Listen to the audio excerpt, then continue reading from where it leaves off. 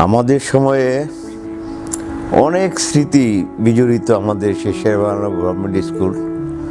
আমরা, আমাদের বেশটা আসলে আমার যে, দুইটা ভাগে বিভ- বিভক্ত ছিলাম। একটা মজা করতাম আমরা, সেটা হলো, আমরা যারা স্বাধীনতার পরে অটো প্রমোশন পেয়েছিলাম স্কুলে, এক যে স্বাধীনতা যুদ্ধকালীন সময়, আমাদের যুদ্ধের পরে আমাদেরকে থ্রি থেকে ফোরে উঠাই দিল। এরকম একটা বেস ছিলাম আমরা একসাথে, আর কিছু ছিল এরকম রেগুলার অটো প্রমোশন তাদের হয় নাই। তো দুইটা গ্রুপ থাকার কারণে দেখা গেছে যে আমরা অটো প্রমোশন একদিকেই চলতাম, সব সময়। বিশেষ করে সবচেয়ে স্মরণীয় ছিল আমাদের টিফিন সময়টা আর কি। আমরা এই সবাই একসাথে আগারগাঁও বাজার কাছে ছিল, ওই ক্যান্টিনে যে আমরা বাই রোটেশন আমরা সংখ্যায় ছিলাম পঁচিশ জন বাই রোটেশন আমরা টিফিন করতাম। আজকে পেমেন্ট আমি করতাম, কালকে ও করতো, কালকে সে করতো, এইভাবে পঁচিশ দিন, একটা মাস আমাদের কাভার হইতো এইভাবে।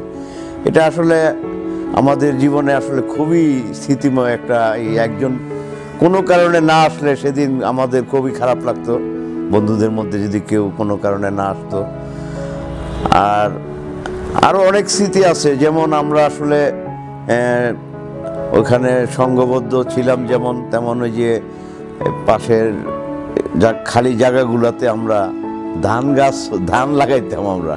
আমরা একটা সময় ধান লাগাইতাম যেটা, এটা একটা আমাদের স্মৃতির মধ্যে আছে আর কি, বিরাট এই ধান কাটা লাগানো। খেলাধুলার ব্যাপারও আমাদের বেশ ই ছিল, আমরা স্কুল টুর্নামেন্টগুলোতে যেতাম অংশগ্রহণ করতাম, মাঝে মধ্যে চ্যাম্পিয়ন হয়ে আসতাম স্কুল, শেরবাংলা গভর্নমেন্ট স্কুল। অনেক আনন্দ, অনেক মধুর স্মৃতি এগুলো আমাদের। তো যাই হোক, এখন আমাদেরও বয়স হয়ে গেছে। এখন আমরা অনেক প্রাক্তন ছাত্র সেই স্কুলের, তবুও আমরা মনে করি যে স্কুলে মনে হয় আমরা এখনও সেই স্কুলের ছাত্র আমাদেরকে মনে হয় মাঝে মধ্যে খুব অনুভূতি হয়। তো তোমরা তোমরা যে মহতি উদ্যোগটা নিছো, পঞ্চাশ বছর পূর্তির, আমরা খুবই প্রাউড এবং খুব ভালো লাগতেছে ব্যাপারটা। ভালো লাগে না শুধু, আমরা ওইখানে অংশগ্রহণ করতে পারলে আরও ভালো লাগবে এবং করব ইনশাল্লাহ। তোমরা যারা আসো চেষ্টা করো সুন্দরভাবে যেন করতে পারো। আর যারা এখনও জানে না ব্যাপারটা, পঞ্চাশ বছর পূর্তি যে একটা বিরাট অনুষ্ঠান শেরেমান গভর্নমেন্ট স্কুলের প্রাক্তন ছাত্র, ছাত্ররা সবাই মিলে একত্রিত হয়ে সফল করার চেষ্টা করতেছে। সবাই যদি এগিয়ে আসে, যারা দূরে আছে তারাও যেন আসে যোগাযোগ করে আমাদের মাধ্যমে বা অন্য অন্য যারা আছে তাদের সবার মাধ্যমে যোগাযোগ করে সবাই যেন এগিয়ে আসে।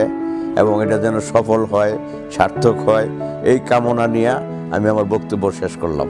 ধন্যবাদ। ছেলেবেলা কেটেছে যেখানে, ফিরবো আমরা সেখানে। সকল বন্ধুদের নিয়ে ইনশাল্লাহ।